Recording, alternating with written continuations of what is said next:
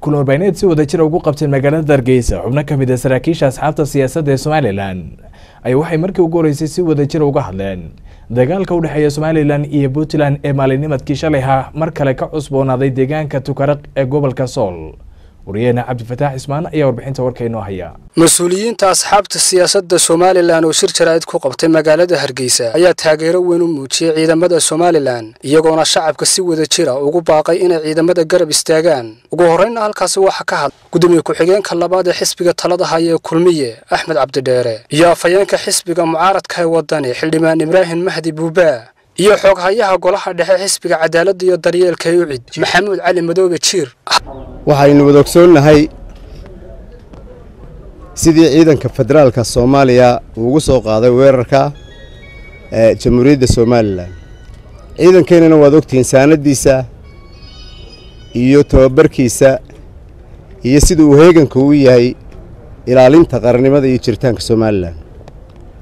Waa ciidan akhlaaqyaad leh laakiin haddii la soo gardaraysto tababarka ay qabaan waxa ay ku filan tahay inay difaacaan aagagga ay joogaan iyo xuduudaheenna.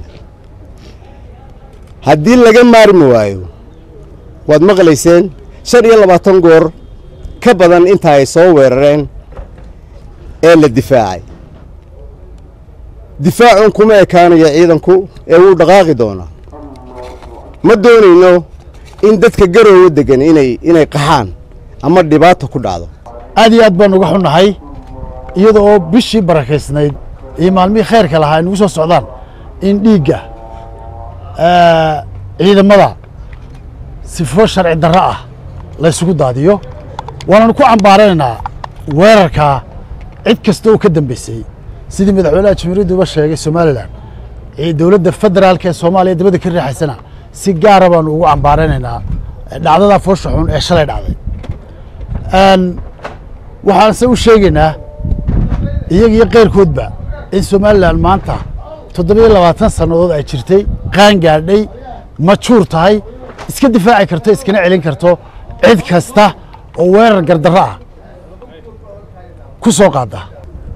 Weerarkii gardarrada ahaa ee soomaaliya federaalkeedu ku soo qaaday ciidanka qaranka ee xadkiisii jooga iyo deegaankiisii ay ku soo qaadeen weerarkii gardarrada ahaa ee aan mar ahayn aan laba ahayn ee aan saddexayn ee shanta jeer ka badan intay ku soo qaadeen weerar in ciidanka qaranku difaacay si wanaagsan u difaacay oo aan werwer lahayn haba yaraatee.